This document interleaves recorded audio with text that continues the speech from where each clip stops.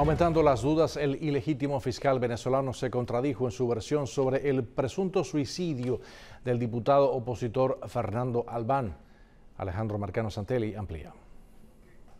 El ilegal fiscal general designado por la ilegítima Asamblea Nacional Constituyente cambia la versión y dice ahora que Albán no se lanzó desde el baño. Aquí nunca se ha dicho que se lanzó desde el baño. Su nerviosa e inconsistente versión aumenta la certeza sobre la responsabilidad directa del régimen en este asesinato. Al momento del almuerzo, Albán se levantó abruptamente de la mesa diciendo que quería ir al baño. Eso nosotros lo explicamos. Él aprovecha esa circunstancia diciendo que quería ir al baño y corre hacia una ventana panorámica que se encontraba en el pasillo del piso 10 de la sede del SEBIN en Plaza Venezuela y se lanza al vacío.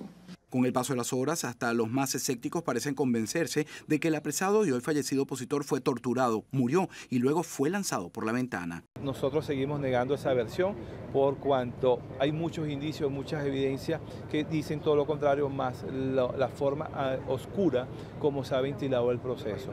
Los hechos también han elevado la presión nacional e internacional sobre Maduro. El vicepresidente estadounidense Mike Pence y la portavoz de la Casa Blanca Sarah Sanders, en un comunicado, condenaron la implicación del régimen de Maduro en la muerte del concejal Albán. La Iglesia Católica ha hecho lo propio. Lo importante es que el episcopado venezolano se ha pronunciado con fuerza y con toda claridad sobre la necesidad de que haya una investigación imparcial sobre la violenta inexplicable y trágica muerte del concejal Fernando Albán. El régimen venezolano, según informó el ilegítimo fiscal general Tarek William Saab, aseguró estar estudiando 1.272 notas de voz y de audio que fue encontrado en el celular de Fernando Albán, que revelarán datos de la investigación que se está haciendo sobre magnicidio y que hace temer a los opositores que sean editados y manipulados para victimizar a otros opositores, tal como reveló Albán a sus abogados antes de su muerte.